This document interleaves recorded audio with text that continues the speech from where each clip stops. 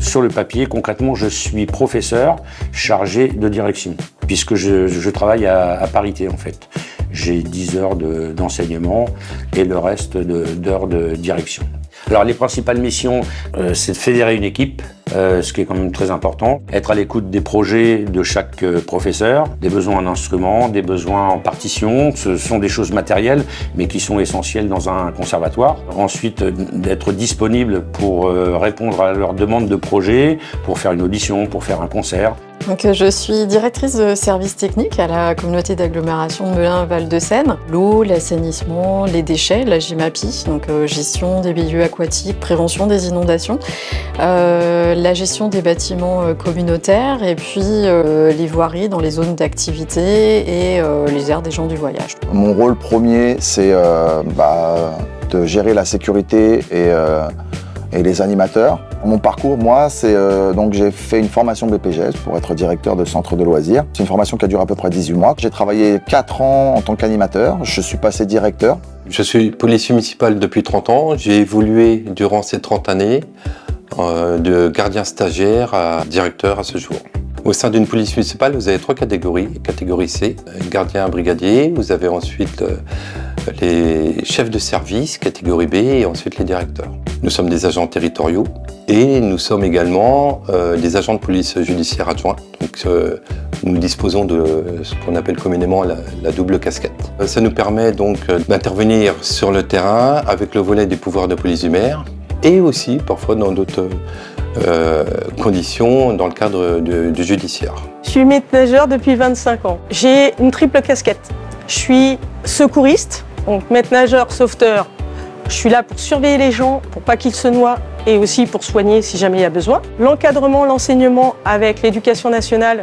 Et la troisième partie, je suis entraîneur, j'entraîne pour les enfants, j'apprends à nager, mais aussi je donne des cours d'aquagym ainsi que des cours d'aquabac. Je suis ATSEM depuis euh, maintenant presque 38 ans sur euh, la mairie de Versailles. Deux grands axes. Le premier, ça va être l'accompagnement auprès des enfants donc euh, l'accueil, le soin, les activités en classe ou à l'extérieur de la classe. Tout ça pour les aider dans des gestes au quotidien qui vont les amener à de l'autonomie. Et puis le deuxième grand axe, c'est l'aide auprès des enseignants, donc l'aide euh, par le biais des ateliers, mais aussi par la préparation et la finition euh, des ateliers.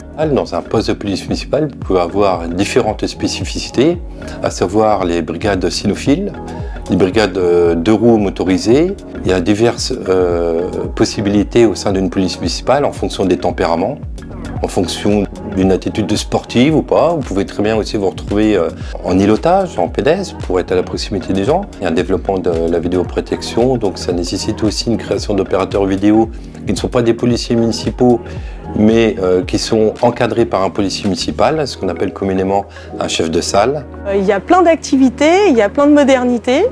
Donc du métier de base qui était d'enseigner la natation, d'apprendre à nager, d'entraîner, on nous a intégré les activités de l'aquabike, de l'aquagym, de l'aquazumba, de l'aquacombo, de l'aquajogging. Il y en a plein et ça n'arrête pas. Et euh, franchement, c'est un métier qui demande à être en permanence en évolution parce que on nous invente toujours plein d'autres choses. On peut venir de tout, de tout cursus, toute formation. Euh, moi, je viens du monde universitaire essentiellement, euh, mais ça peut être aussi des écoles d'ingénieurs, ça peut être des BTS.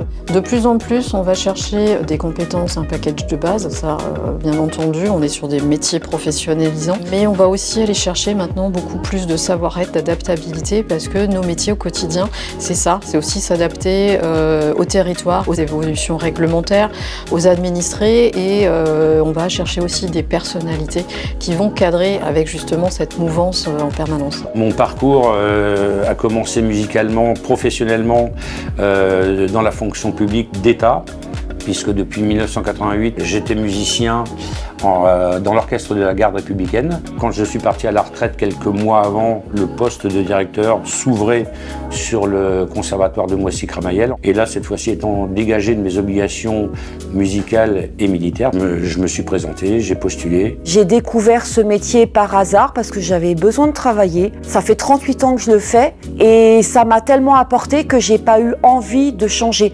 J'ai fait beaucoup de formations pour améliorer ce que je suis, pour leur donner le meilleur parce qu'il y a beaucoup de formations qui sont proposées par contre au sein de la mairie. Je ne me vois pas faire autre chose. Aujourd'hui, c'est un métier qui est vraiment bien reconnu. Ça a énormément évolué. Les équipes pédagogiques nous ont vraiment intégrés à leur, euh, à leur milieu, on en fait partie. On a beaucoup d'activités à proposer. Bah, nous, on est responsable des animateurs, des enfants, des dames de cantine. Alors nous, on est au centre, donc euh, on a les animateurs d'un côté, on a la mairie de l'autre. Après, on travaille aussi avec les maîtresses, euh, l'éducation nationale, sur les temps de cantine le matin. Donc on est amené à se croiser, à discuter. On gère en partie tout ce qui est l'administratif de la mairie, les parents, les enfants, les animateurs. On a un chef de service, on a une coordinatrice, on échange beaucoup, on a des réunions. C'est des animateurs qui sont là euh, à l'année. Donc euh, ils ont l'habitude des enfants, les enfants les connaissent, ils sont référents. En gros, c'est euh, le déroulement de la journée, que ça se passe bien, que les activités soient faites, qu'à la fin de la journée, l'enfant rentre chez lui avec plein de choses dans sa tête et qu'il puisse raconter aux parents ce qu'il a fait. Ce qui est intéressant, c'est que c'est un métier multitâche et avec multi-responsabilités. Des responsabilités au niveau secourisme, des responsabilités au niveau technique, des responsabilités au niveau de l'enseignement, parce qu'on est là aussi pour aider, et on a aussi des responsabilités envers les gens qui ne savent pas nager et leur apprendre à nager. Et l'attrait de notre métier, c'est ça, c'est qu'on touche à toute la population, que ce soit du plus petit, c'est-à-dire l'enfant qui ne sait pas nager, au plus haut, c'est-à-dire les élus, pour leur expliquer que justement la natation, c'est primordial dans notre société. On est essentiellement sur le terrain le mercredi parce que c'est une journée, c'est 10 heures, c'est long, mais en même temps c'est court parce qu'on ne voit pas le temps passer. L'animateur, ce qu'on lui demande nous, c'est d'être créatif. Donc on lui demande déjà en début d'année de nous proposer des projets. Il faut aimer euh, être créatif, il faut, euh, il faut savoir animer, beaucoup d'idées, ne pas compter son temps euh, qu'on donne aux enfants et qu'on leur apprend beaucoup. Et du coup, ils passent quand même beaucoup de temps avec nous. Donc nous, le but, c'est un petit peu de les mener à se débrouiller, à être un petit peu autonomes. Alors ce que j'aime le plus dans mon métier, c'est le contact avec les enfants. Le fait de se dire que tous les jours, on apporte quelque chose à, à ces dizaines d'enfants.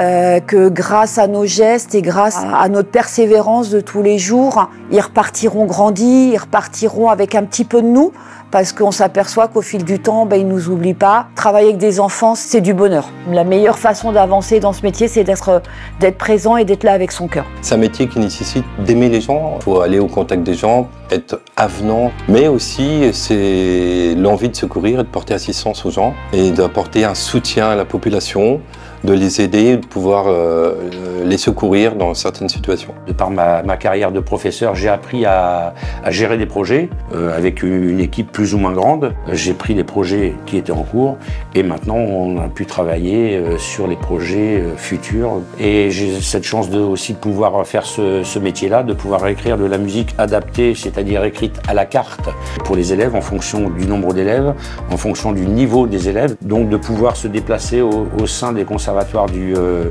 réseau 77, mais pas uniquement. Donc c'est une grande chance de pouvoir profiter des structures hors notre conservatoire. L'avantage de travailler pour la territoriale au quotidien, c'est qu'on travaille pour le territoire, on travaille pour les administrés, on travaille vraiment pour le bien commun. Donc on a ce sens euh, du service public qui est chevillé euh, au corps pour la plupart des gens qui, euh, qui travaillent dans ce secteur. Alors l'avantage de travailler avec différentes entités, c'est qu'on va interagir sur plusieurs domaines, ce qui fait qu'au quotidien, on va être tout le temps remis en question et on peut enrichir eh bien, sa curiosité, mais aussi son parcours professionnel. C'est ce qui fait tout l'intérêt de ces métiers-là, c'est en, permanence en construction.